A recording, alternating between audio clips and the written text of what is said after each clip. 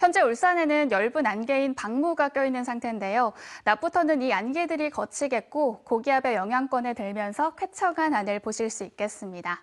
다만 낮 동안 강한 자외선에는 유의하셔야겠습니다. 낮 10시부터 3시까지는 가급적 장시간 외출을 피해 주시고요. 그늘이나 실내에 머무르시는 게 좋겠습니다. 오늘 울산 기온 먼저 살펴보겠습니다. 현재 기온 14도 보이고 있고요. 낮 기온은 21도까지 오르겠습니다.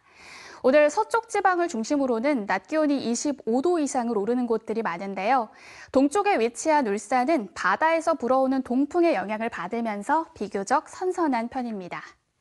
오늘 동남권 하늘 대체로 맑겠습니다. 현재 기온 먼저 살펴보시면 경주가 14도, 포항과 양산 15도를 보이고 있고요. 낮 기온은 경주가 23도, 양산 24도로 어제보다는 1도에서 2도가량 기온이 낮겠지만 평년과는 비슷하겠습니다. 오늘 해상의 하늘도 맑게 드러난 가운데 바다의 물결 전해상에서 잔잔하게 일겠습니다. 다음 주 화요일에는 낮 기온이 28도까지 오르면서 7월 초순에 해당하는 낮더위가 나타나겠습니다. 날씨였습니다.